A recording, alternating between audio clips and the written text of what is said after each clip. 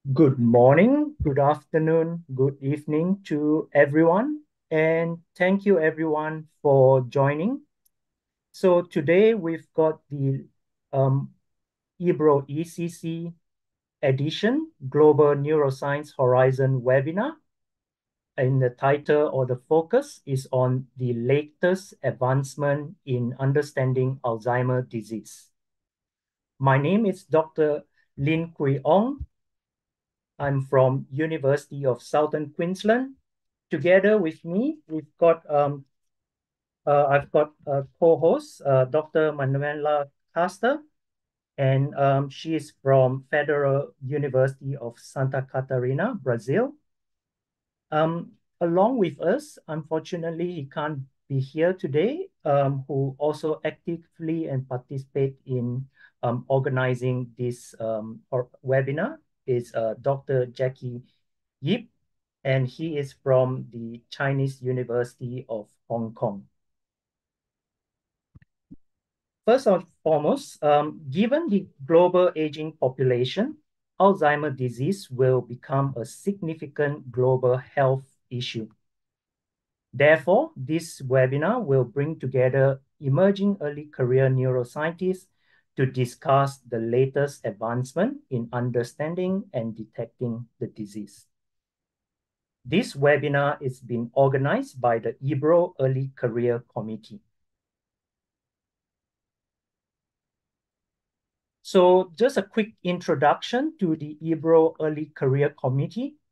It's composed of scientists in the early stage of the career, and the mission of the IBRO ECC is to support networking and scientific exchange between the individual ECC members and their scientific networks to provide visibility for IBRO among similar career stage scientists through coordinated activities and event of the IBRO ECC, and also to ensure outreach, engagement, and inclusions of ideas and views by the group on behalf of the constituency in the IBRO decision-making and program.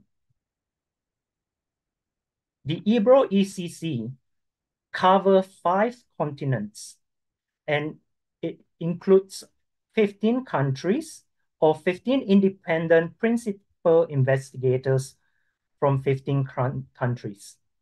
So here you can see the list of the name of the um, EBRO ECC members. And just a quick plug, there's a call for paper at IBRO Neuroscience Report hosted by the IBRO ECC. So there are two volumes to spotlight on scientific advances by early career neuroscientists. Volume one will be focused on molecular and cellular neuroscience, and volume two will focus on systems and computational neuroscience. So there's a QR code just at the slides. Feel free to scan, or um, there's also a link, and um, the team will also um, share the links uh, via the chat function. Without further delay, I would like to now introduce our very first speaker, our first speaker is Dr. Ha Thi Thanh Huong. She is the chair of the Department of Tissue Engineering and Regenerative Medicine, and also a lecturer at the International University, Vietnam National University in Ho Chi Minh City, Vietnam. So today she will be sharing um, a topic on plasma-free cell, sorry, plasma cell-free RNA profiling of Vietnamese Alzheimer patients reveals a linkage with chronic inflammation and apoptosis, a pilot study. And it should be also um, noted that um, this study has been supported by the um, IBRO as well. So um, I would like to stop sharing the screen and um, uh, invite Dr. Ha Thi Thanh Huong to um, uh, have the floor. Thank you. The floor is yours.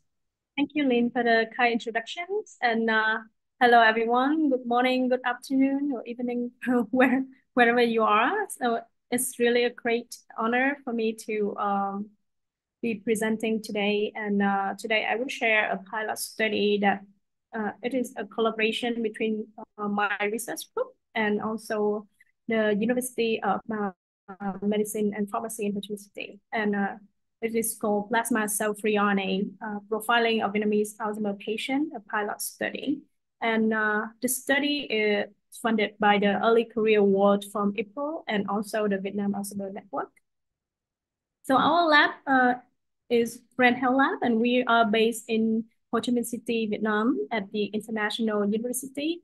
And uh, we have several research orientation one of them is about developing diagnosis and intervention for Alzheimer's disease. And in this uh, focus, what we do is that we will um, try to investigate different strategy um, in order to develop um, both diagnosis and also intervention method. And so we, we can either use, um, like in this study, uh, blood-based biomarker. We also have several other projects that actually focus on uh, using MRI image and applying in, uh, intelligent uh, artificial, artificial intelligence analysis. We are also conducting uh, several intervention study, uh, collaborating with uh, another hospital in Ho Chi Minh City. So today we will uh, um, talk about the challenge of um, diagnosis of Alzheimer's disease. So um, as you probably already know, Alzheimer's disease is a neurodegenerative disease that affecting elderly and um, when the disease occur, uh, what happens is that the brain cell will die off uh, gradually.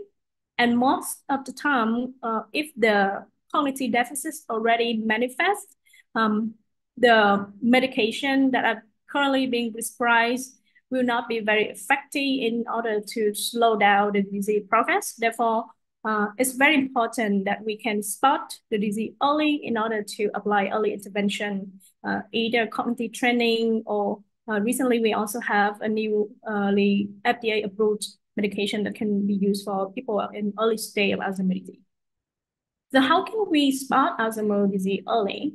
Um, previous study already developed very successful approach. For example, we can use PET scan that combined with labeling of the molecule that are signature of Alzheimer's disease, for example, uh, amyloid beta accumulation in several brain regions or tau accumulation. Those are the signature that can be used in PET scanning. And it has been shown to be able to detect Alzheimer's quite early, like 10 or even um, earlier, uh, 10 years before the disease, the cognitive deficit manifest.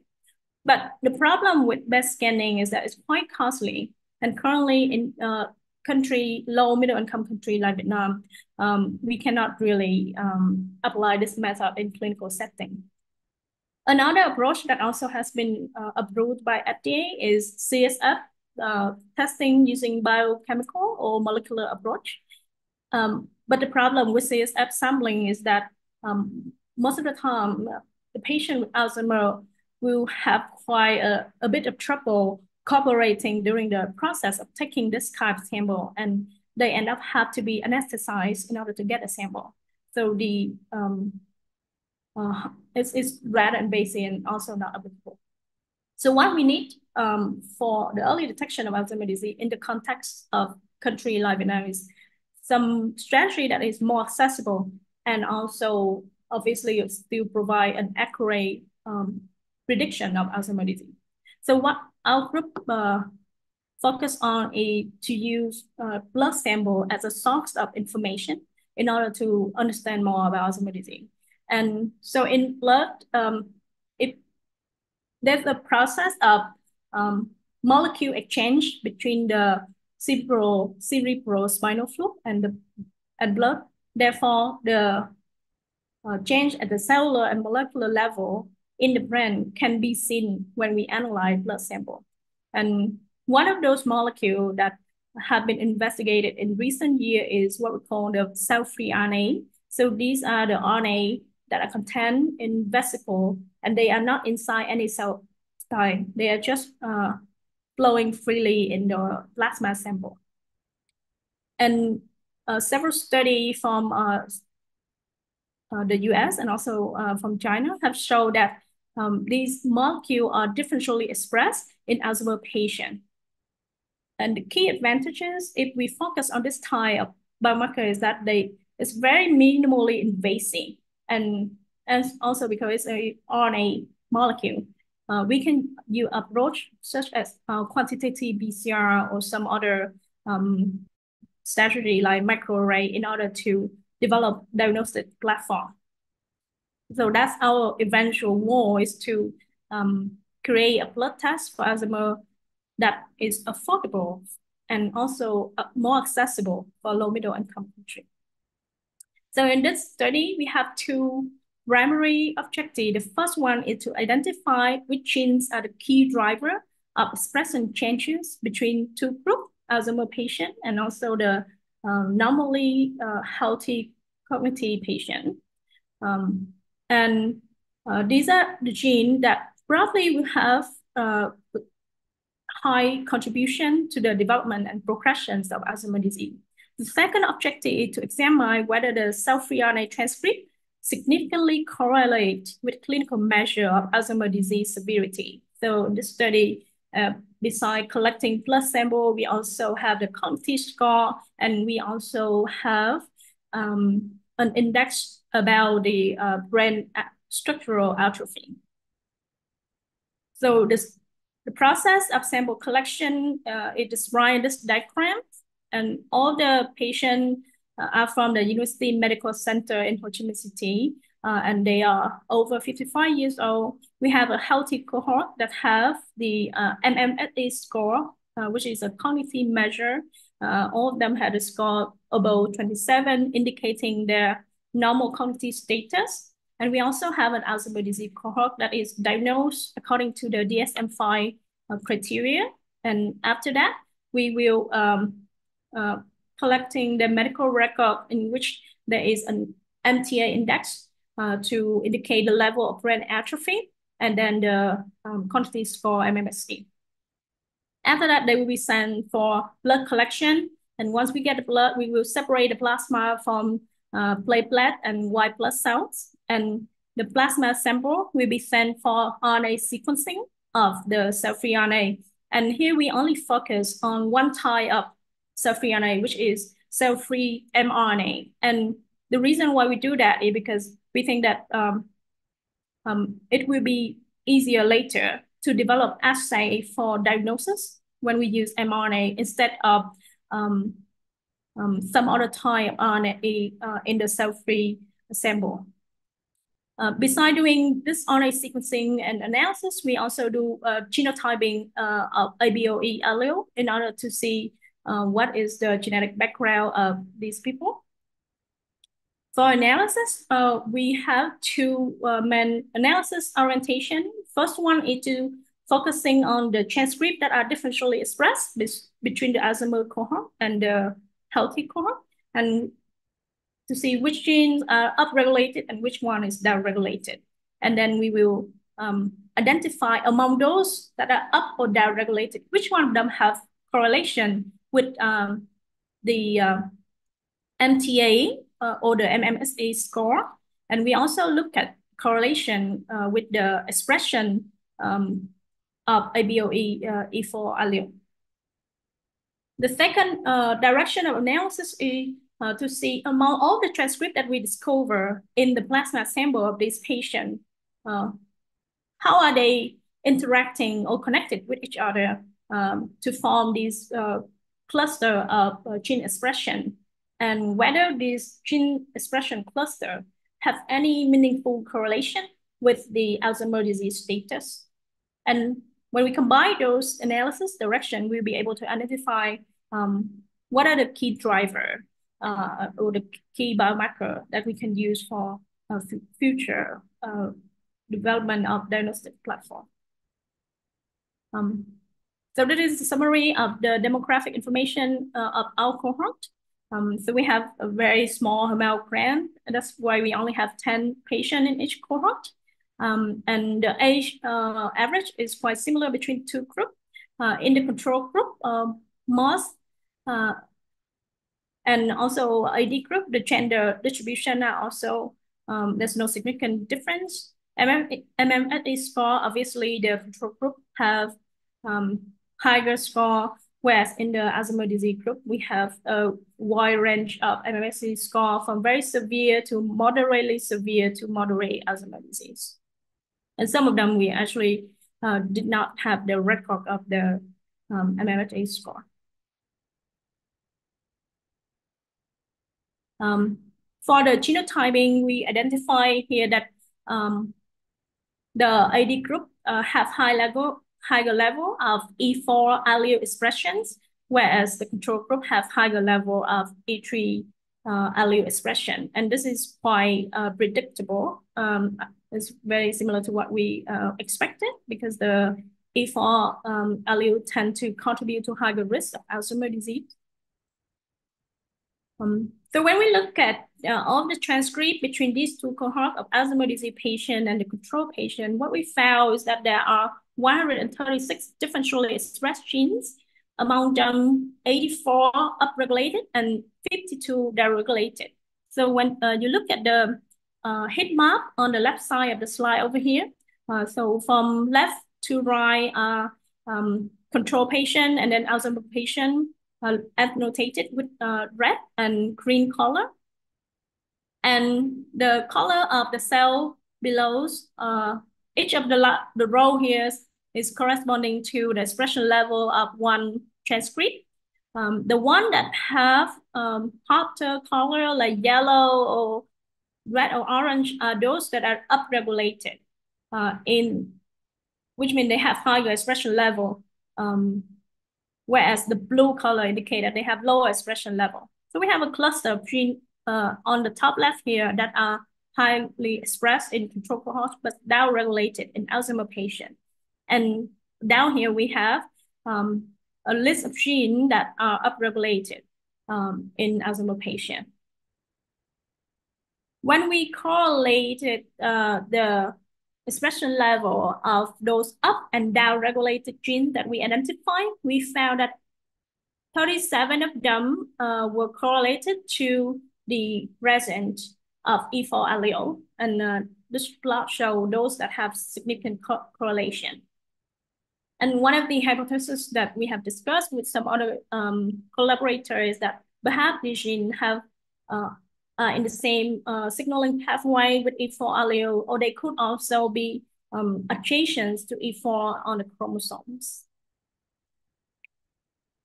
Uh, about the function of the differentially expressed gene, we found out that they are quite important uh, for several brain processes and also they could be expressed in different uh, neuronal compartments like dendrite, um, cell body, synapse, postsynaptic density, neural death, uh, and they are uh, important for neural death or synaptic vesicle.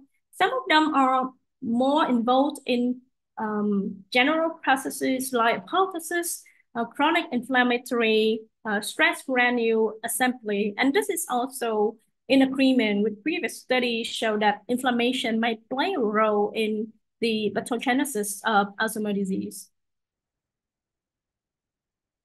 And once we already uh, did analysis on um, the single gene, what we did next is to see how they are expressing together. What are the relationship or connection between those two genes? So we did co-expression analysis and we identify seven gene uh, co-expression model, um, which is shown on the um, right side of the slide here, but only only three cluster, uh, three three module among these seven module actually have um, statistical significant correlation with the status of Alzheimer's disease.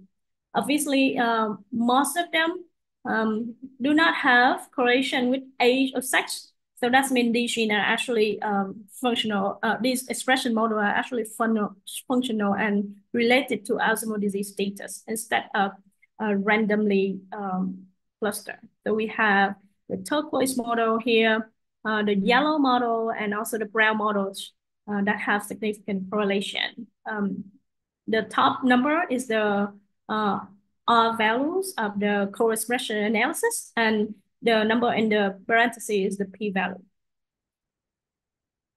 So what does uh, what are the function of these models? So when we did uh, gene annotation analysis, we found out that the Brown model are mostly is mostly involved in processes that are related to uh, the cell nucleus. For example, um, some of them are um, the, the protein on the nuclear envelope. Some of them are important for transportation of genetic material in and out of nucleus or protein localization to the nucleus. Um, the yellow model is more important for cell adhesion and cell substrate junctions, uh, whereas the turquoise model uh, involved in process that happen in the cytoplasmic, like cytoplasmic translation, uh, RNA metabolic process, and so on. Uh, the next uh, analysis is that we done is looking at um, uh, in each of those models when uh, we want to see um, which genes are the key driver. Uh, so what we did is that um, we will analyze the model membership of the genes candidate in this model, and we also will look at um, which of those genes have higher significant correlation with Alzheimer's disease status. So the gene that are in the top, the top right of each of these plots are the one that have higher membership, which means they have more connection with uh, the rest of the genes in the model. And they also have higher level of uh, significant correlation with the Alzheimer's disease status. And what was quite interesting is that all the genes in the uh, brown and yellow model are mostly having um, um, upregulated. Uh, they are upregulated genes, whereas the red one over here in the turquoise model are downregulated genes that are related to uh, Alzheimer's disease.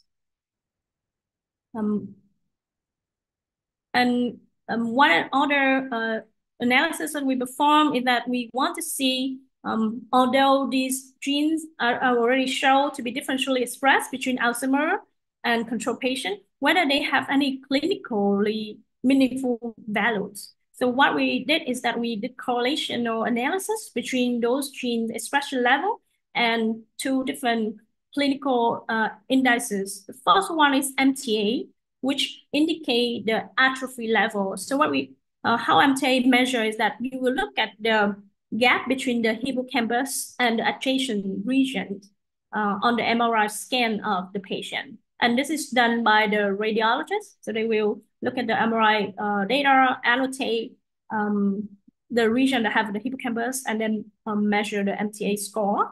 And so among all, all the genes that are differentially expressed, we found several of them actually have very strong correlation with MTA score. Uh, for example, FOXO1, uh, TAOK3, and green um, 036B. Uh, so Many, many of these have positive correlation with MTA score. And several other uh, have the reverse or negative correlation with MMSE score, which is a cognitive index. Um, so all the results I've shown you in the previous slide, I already published on the frontier of molecular neuroscience.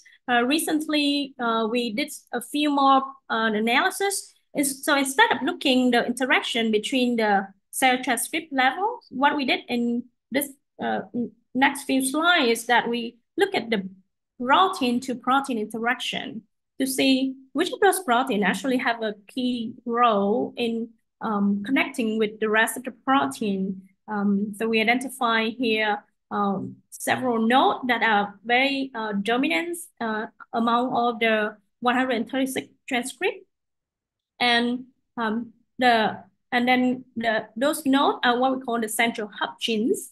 Um, and several of the, these candidates are quite interesting. For example, XRN1, uh, which is uh, important for um, is an enzyme called exoribonuclease and involved in mRNA decay. Uh, G3BP1 is involved in um, innate immunity, where DNMT1 uh, is in, important for methylation, which is uh, quite important for uh, epigenetic control of gene expressions. And um, instead of just looking at a single gene, we also do uh, cluster analysis and identify several cluster here um, that actually have uh, some quite interesting candidate like EEF2 or SMYD3. Um, so in this uh, slide, this is the last result slide. Um, so what we look at is the uh, to see um, the co-expression score of uh, these protein transcript and the intensity of the color in this map indicate the level of confidence that two proteins are actually functionally uh, associated. Um, so in conclusion, we have identified um, several candidates um, of relevance to Alzheimer's disease uh, that are also uh, in agreement with previous study. So these candidates can be used as potential target for further investigation into diagnostic application. Um, the focal adhesions in the top function of the yellow co-expression model could play a role in um, amyloid beta signaling and cell death. And two other candidate genes highly correlated with MMSE value are involved in actin binding processes and have and this process has previous, been previously shown to involve in Alzheimer's disease pathophysiology as well. So um, for our next study, we would like to expand the sample, uh, obviously, and look in more detail about the biological processing pathway related to Alzheimer's disease pathophysiology, and then validate um, the candidate we found in this prelim cohort on a larger uh, population. So thank you everyone for listening. Sorry, I'm kind of losing my voice at the end. So hopefully that does not really interrupt with your comprehension. And I'm happy to take any question that you have. Thank you. Thank you. Uh, thank you very much, Dr. Huong, uh, for this great talk. I just want to uh, remind all the attendees that you can ask, uh, putting your questions in the Q&A section and we answer some of them at the end after the second speaker. And now it's my pleasure to introduce uh, our next speaker, Dr. Mychael Lourenco. And just briefly, Dr. Lourenco is an associate professor of neuroscience at the Institute of Medical Biochemistry from the Federal University of Rio de Janeiro in Brazil. He received many awards and distinction for his work on the mechanisms of cognitive dysfunction in dementia. I just want to highlight two IBRO Travel Awards, in 2014 and 17, the IBRO Connecting Regional Award in 2020, and the IBRO Early Career Award in 2021.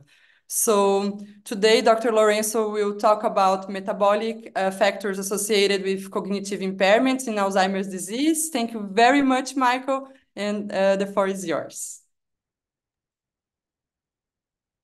Thank you, Manuela, for the nice introduction, and thank everyone for being here, and of course the IBRO uh, Early Career Committee uh, for inviting me to be here to talk about some of uh, the things that we're doing in our laboratory. Uh, I'll be happy to take questions at the end of this, of this talk. So uh, I'm trying to, I'll try to tell you uh, a bit of what we've been doing in our laboratory over the past few years. That's more of an overview of what we're doing but it relates to metabolic and inflammatory mechanisms relating uh, memory failure in Alzheimer's disease. So, uh, of course, I can skip a, a, large introduction because Dr. Wong had a nice introduction and presented a nice work relating to potential biomarkers in Alzheimer's disease, but uh, I, I want to bring here your attention to the challenges that we have in diagnosis and therapy of Alzheimer's disease, mostly because we don't quite fully understand what happens in the brain when the disease is taking place. So if I had only uh, this slide to tell you what we believe it happens in Alzheimer's disease, I would show you that uh, first there's this beta amyloid accumulation in the brain that is followed by tau mediated neuronal injury.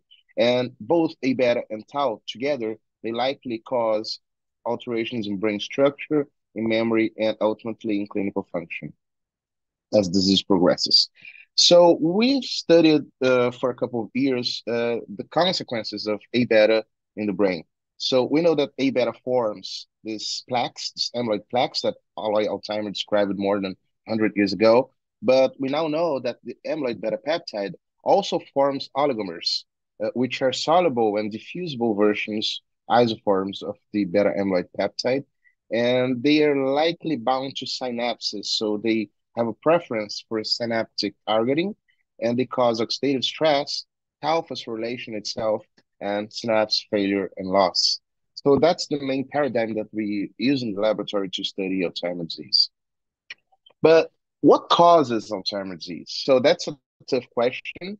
Uh, many people think it's genetics. Of course, we have some causal genes, mutations in the amyloid precursor protein and uh, in, in the enzymes that cleave the amyloid precursor proteins, and they are rare. Uh, but when these mutations are present, they cause Alzheimer's disease. But we have an, another number of genes that are associated with an increased risk of developing Alzheimer's disease, TREM2, APOE4, and many others. And all of them have in common the fact that they relate somehow to uh, defective metabolism and or abnormal aberrant inflammation in the brain. And of course, we have some lifestyle factors that contribute to our risk of developing Alzheimer's disease. And I want to bring your attention here to uh, inflammation and metabolic disorders. So if you have insulin resistance, if you're obese, if you have diabetes, you're at increased risk of developing Alzheimer's disease. So that tells us that there is this metabolic connection and there is this inflammatory connection to Alzheimer's disease that we need to study. Well, uh, several years ago, more than 10 years ago, uh, we described a pathway that happens in the brain that leads, that connects A beta oligomers to memory loss. So what we show here is a, a culture of neurons exposed to these amyloid beta oligomers. They are at increased stress, uh, not the psychological stress, but a cellular stress. So they respond badly to the presence of amyloid beta oligomers.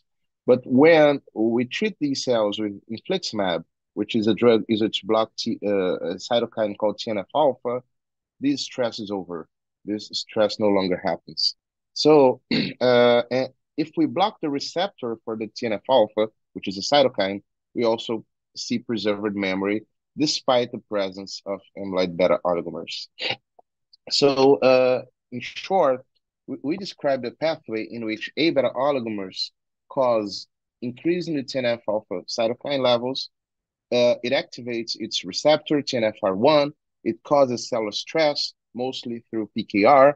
Uh, and this has twofold implications. First one is a kind of uh, defective insulin signaling in the brain.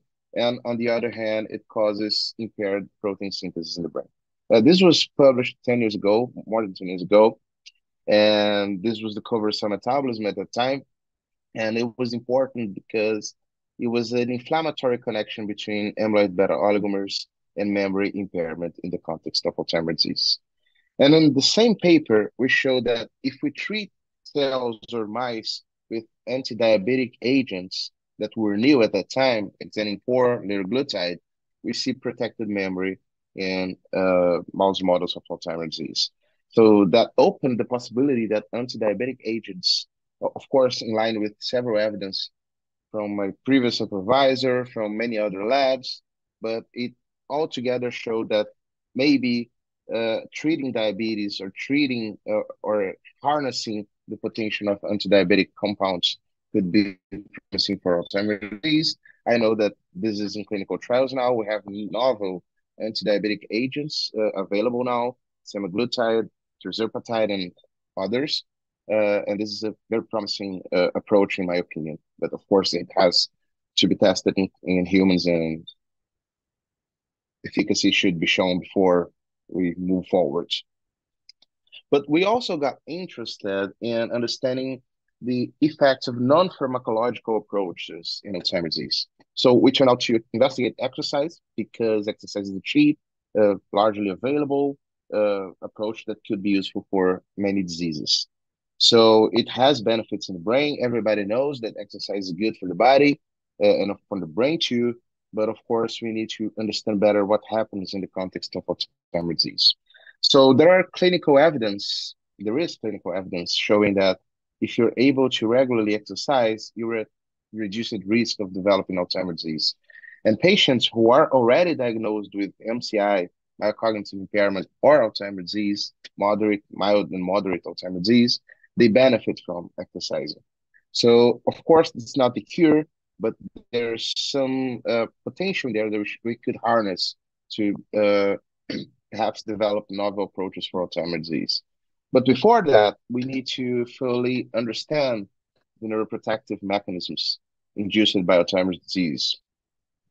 And we focused on a, a myokine, a hormone called irisin. Some of you may have heard about it before, uh, but for those of you who had never heard about it, uh, irisin was described 12 years ago as a hormone derived from a precursor protein called FNDC5, uh, and it's uh, an exercise-induced myokine. That means it's produced by the muscle, and it's increase it increases in levels after exercising. And this myokine, this hormone, was shown to increase in human plasma after exercise, and when we give it to obese mice, they have less glucose intolerance.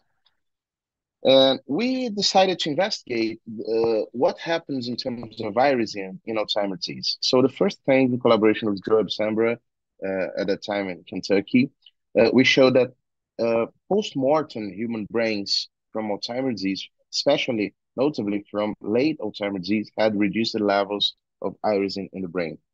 And in collaboration with the D'Or Institute here in Rio de Janeiro, Brazil, we observed that the cerebrospinal fluid of patients who were diagnosed with a kind of dementia, either Alzheimer's disease or Lewy body dementia, they had reduced levels of irisin in their CSF.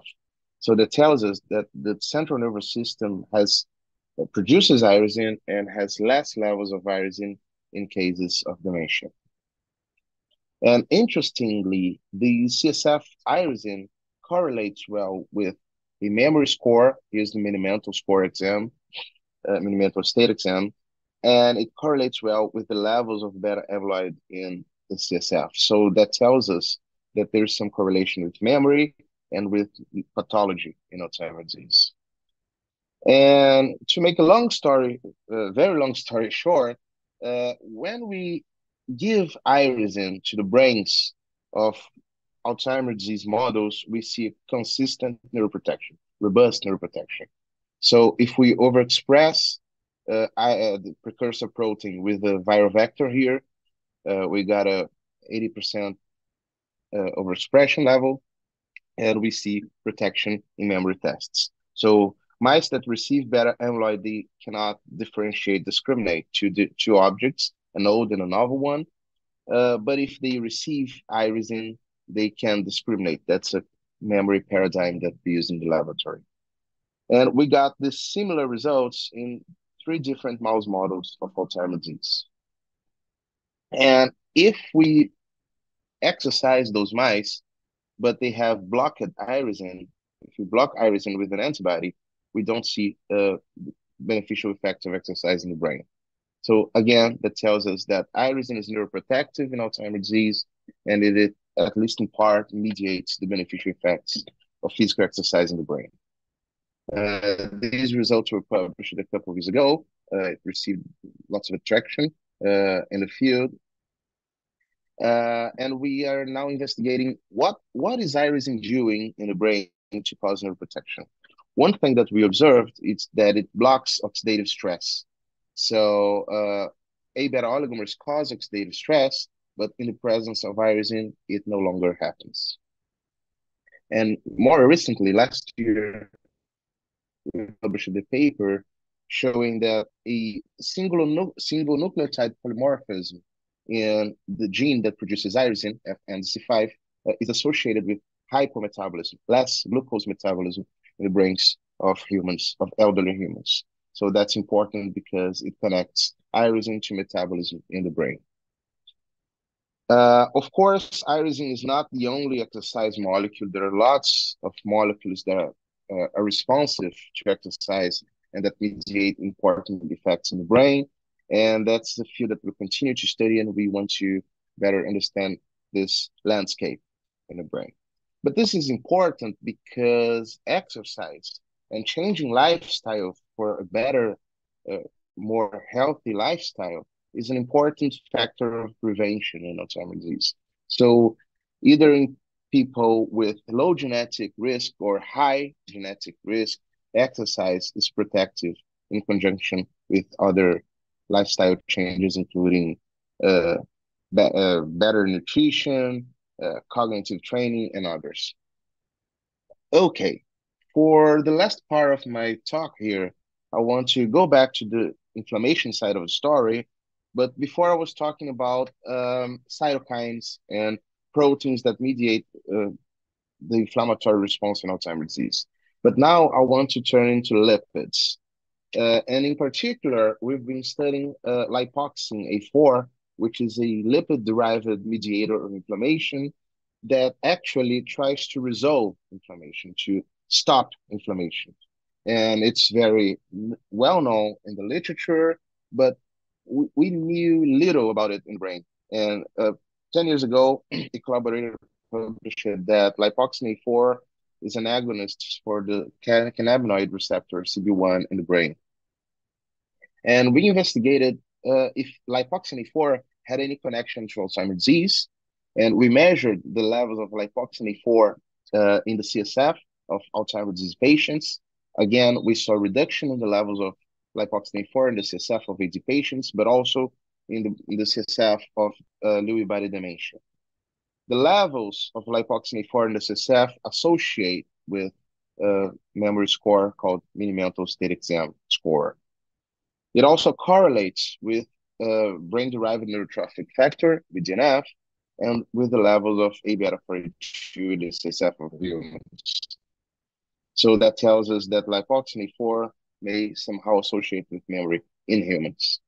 And when we give lipoxin A4 to the brains of mice that received uh, a pro-inflammatory stimulus, which is LPS here, lipopolysaccharide, uh, we observe that lipoxin A4 protects against memory impairment, as we can see here, and it also protects against increased inflammation in the brains of these mice. So LPS mice have increased levels of IL-1 beta, but this does not happen to most of mice who received LX A4, lipoxin A4 2. So these results were published uh, in 2022, but we continue to uh, investigate the potential role of lipid modifiers of inflammation in the brain in the context of Alzheimer's disease. Okay, as conclusions, uh, I want uh, to I want you to have the take-home message that inflammation, especially neuroinflammation, is an important trigger of memory loss in Alzheimer's disease. But we can block that. We can block that with changing lifestyle uh, that could be potentially mediated by irisin, which is an hormone hormone that we studied uh, as a beneficial mediator of exercise. And of course, we can change that with um, uh, other habits such as diet and cognitive training. So we need to understand better the roles of regulators of metabolism and inflammation in the context of Alzheimer's disease. Uh, we as neuroscientists generally think about the brain controlling the, the rest of the body, uh, everything in our lives. But of course, we need to think of how uh, peripheral mediators of inflammation, of metabolism, send messages to the brain to cause uh, alterations in our brain function. I want to thank collaborators, many collaborators and funding agencies that made this work possible, and leave here my contact. So I'm happy to discuss with Dr. Huong and everyone might have any questions here. Thank you very much again for the invitation. It's a pleasure to be here. Thank you very much, Mychael, for this beautiful presentation. And I think that we can move on to the Q&A section. So you're all invited to submit your questions and please address the, the speaker. Uh, I want to, I will start with a question for Dr. Huong. Um, yeah. Yes, Dr. Huong, can you please provide a comment about the modifiable risk factors associated with Alzheimer's disease and their influence on the genes you have investigated? This is a question for Gautam Kumar Babu. Um, thank you for your question. So I think uh, perhaps you are uh, referring the, to the environmental risk factor uh, that uh, could um, lead to changing uh, the probability of someone getting Alzheimer's disease. For example, if uh, diet is one of the factor that actually influence Alzheimer's disease risk. Another factor is um, is uh, the um, the education level uh, of uh, the patient. So I think these risk factors perhaps can um, interact uh, and uh, lead to epigenetic change and uh, in the end lead to change in genes expression level.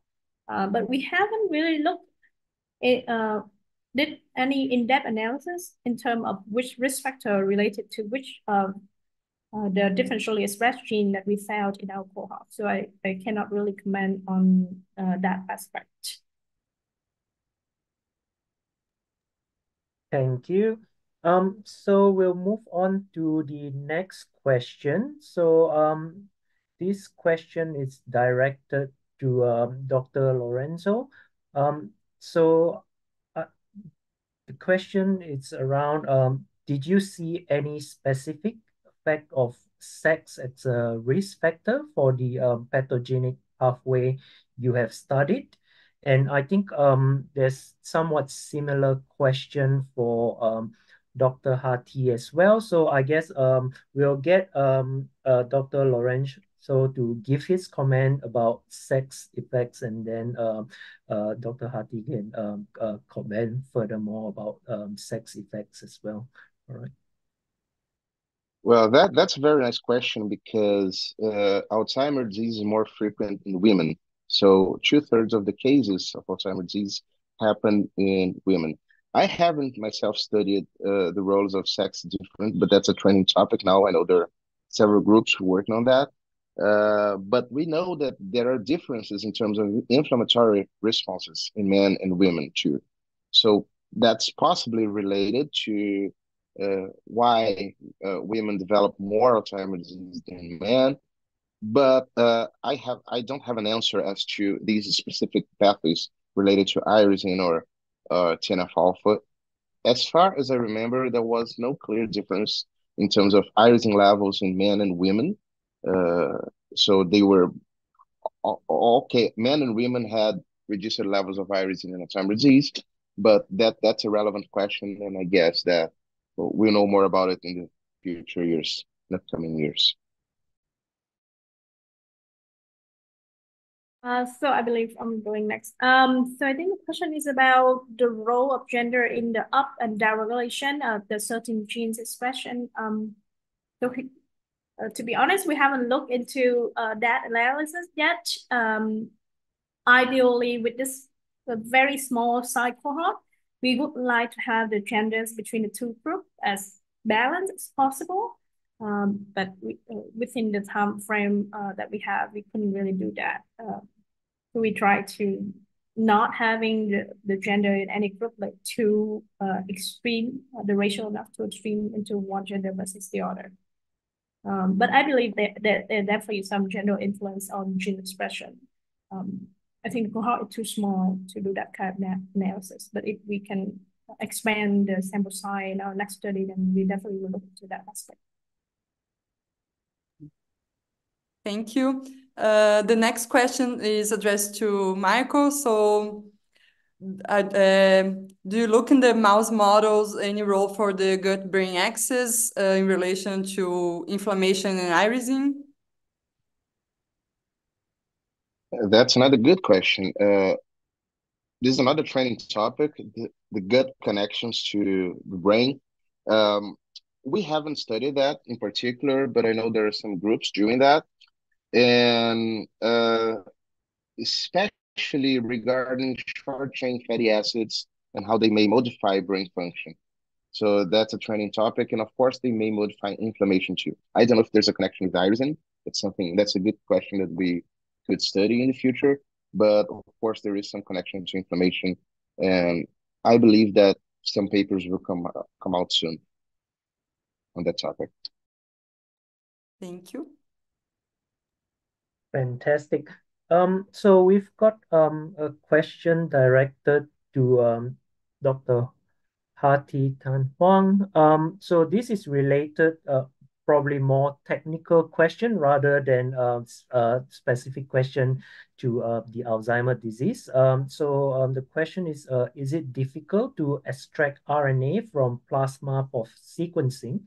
And um, what are some uh, technical obstacle um, you've faced? Uh, my short answer is yes, it is quite difficult to extract RNA. Um, I mean, in general, extracting RNA is difficult because RNA is very easy to degrade. There is RNase enzyme everywhere on your fingertip in the air, that can completely destroy them. Um, so we try several uh, protocol for extraction, uh, and we have a small conference paper on this, which I'm happy to share uh, later.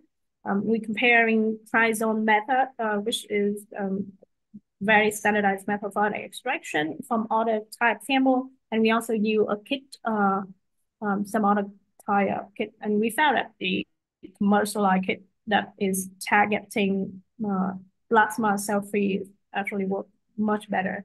But overall, there's still uh, degrading issues of the RNA when we uh, uh, measure the uh, RNA integrity value. Um, so for the result that I just showed you, we actually outsource a company to do the extraction process and also the sequencing.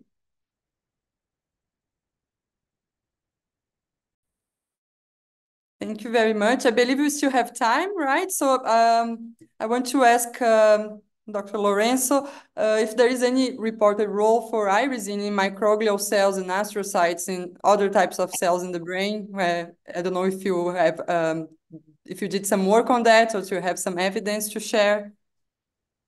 Well, uh, there's a group in Harvard that uh, gave the pre preliminary evidence that irisin may act in astrocytes. So their receptor might be in astrocytes, and they may modify astrocyte reactivity.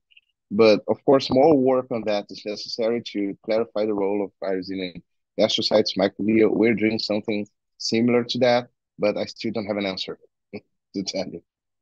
Yeah, but there's initial evidence on the role of irisin in astrocytes. Thank you. Okay. Um, yep, I've got a question directed to um, Dr. Huong. Um, so is the um, CFRNA different from the uh, novel circular RNA? So, um, or perhaps you might want to um, comment a bit about um, your um, the, the RNA um, uh, um, differences that you've been um, uh, investigating so far. Uh, so the, the plasma contain the vesicle that um, can come from different type tissues. They can be secreted from the brain, from the liver, and and all, all different other type tissue. And these in these vesicle, we have cell-free DNA, we have cell-free RNA, and among the cell-free RNA sample, um, the type that we investigate is mRNA, and there are also circular uh, RNA and some other type as well. So this is a very specific types of DNA that we're looking at.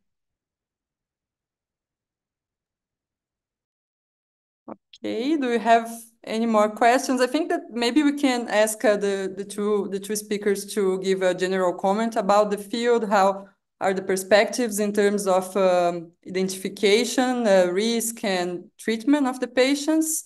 And what are the perspectives in your work? Maybe we can start with uh, Mychael. Sure. Uh, I think it's a very exciting time to work in Alzheimer's disease right now because uh, we're evolving a lot in terms of diagnostic approaches. Now we have these plasma assays that have been uh, evolving quite rapidly, and they show a, a good promise of working in terms of clinical settings. And we are, of course, advancing in terms of treatment because we have now these new antibodies against beta amyloid, uh, lecanemab, and donanemab, uh, who are mm-hmm. showing that uh, these are the first antibodies that effectively show some disease modification effect, in my opinion. And of course, it's not the cure. We don't have a cure yet, but we know that we can change the disease, some uh, mm-hmm. modify the disease course, and that's really important for us. Uh, it shows that we are in the right track, in the right direction. So, in terms of my work, uh, I want to understand the molecular basis of these lifestyle interve- interventions in Alzheimer's disease, so we can perhaps develop more effective approaches. And of course, we want to understand the molecular pathogenesis of Alzheimer's disease, so we can perhaps help develop uh, better biomarkers. So that's the perspective of my of my work. Thank you very much, Dr. Huong. Um, can you uh, help me uh, repeat the last part of the question? I couldn't really hear. Uh, just wonder about your perspective about the field, where where is moving uh, on, and about your work, what your perspective and plans. Um, so I agree with uh, everything that Mike already said about how the field is evolving very rapidly uh, from the diagnostic and from animal model uh, um, direction and there's like also a lot of um, new technique that allow you to actually dissect the disease at different level, from circuit level to molecular to cellular level. For our work, um, um, as I'm also briefly mentioned in the conclusion, we, we want to uh, continue um, using this cell-free RNA analysis as a way to look into the um, disease progressions and also uh, understand about like a lot of um, how these change at the plasma level actually correlate clinical measurement. Uh, we are more in the practical and application end of this research spectrum. And uh, that also um, partially due to funding issues because that's what our government uh, and the funding source we have is more uh, focusing on. Okay, thank you very much. I think that that's it. So I just want to thank again uh, Dr. Lourenco and Dr. Huong um, for sharing your data and your insights on the field. I also would like to thank the IBRO Early Career Committee for the organization, especially Jack and Lynn. Uh, I want to thank the amazing technical support from Carolina and Angelique.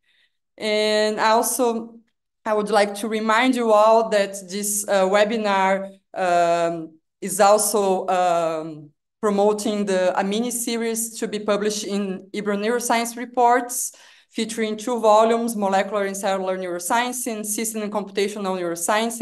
And we are um, uh, trying to get as many as submission from early career neuroscientists.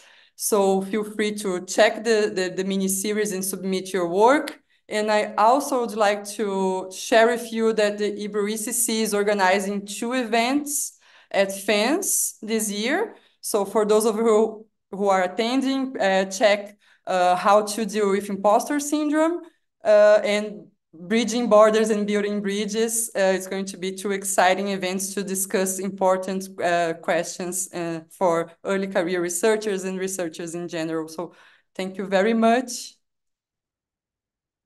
That's it.